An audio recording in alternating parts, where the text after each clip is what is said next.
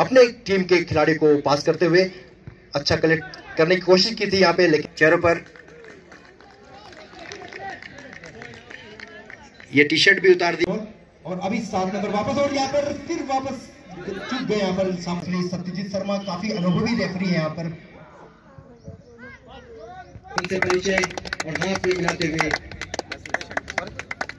और डीएसपी जयपुरा श्री रियाज अहमद साहब। अच्छी। लेकिन कनेक्ट नहीं कर पाए यहाँ पे खिलाड़ी और यहाँ सोफे के खिलाड़ी काफ़ी ऊपर भागो तो पीछे। और फिर आउट बॉल आउट सोफे के खिलाड़ी।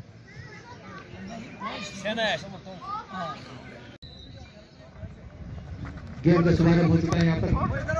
दोनों टीम आगे बढ़ते हुए।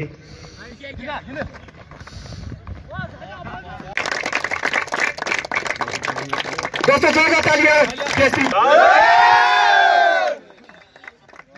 पर सभी खिलाड़ियों का यहाँ पर, जिसमें तालियाँ इनके लिए विटामिन है, प्रोटीन है, सब कुछ है।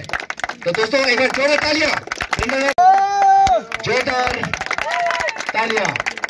के असिस्टेंट कमांड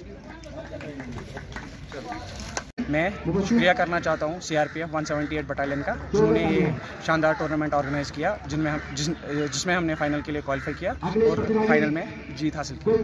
मैं सीआरपीएफ से यही अपील करना चाहता हूँ और ऐसे ऐसे अच्छे टूर्नामेंट्स ऑर्गेनाइज करें आप, जिससे यूथ जो है वो ड्रग्स से दूर हो जाए, बाकी गलत कामों से दूर हो जाए। एक सौ अठहत्तर बटालियन सीआरपीएफ रैसीपुरा के द्वारा सिविक एक्शन प्रोग्राम 2022 के तहत जैनापुरा में, वाची एरिया में और बाबापुरा एरिया के अंदर, इस ग्राउंड के अंदर ये फुटबॉल मैच जो है फ्रेंडली उसका आयोजन किया जा रहा है। और साथ में इसमें फ्री स्पोर्ट्स किट जो प्लेयर्स हैं, उनको बांटा गया है।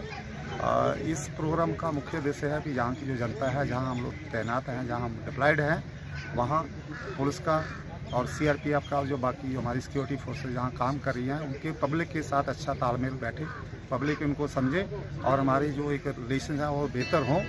यही इस जो सिविक एक्शन प्रोग्राम का जो टूर्नामेंट का जो मुख्य उद्देश्य है तो यही कि आप ज़्यादा से ज़्यादा हमारे फोर्सेज को समझे। फोर्सेज आपको जहाँ सर्व करने के लिए आई हैं, आपके बढ़ाई के लिए आई हैं, और आप दूसरे कामों से हटके, ये जो मेन स्ट्रीम है, उसमें आके काम करें स्पोर्ट्स में बढ़ चढ़ हिस्सा लें, और देश की सेवा करें, और देश में अपना नाम रोशन करें, और अपने एरिया का नाम रोशन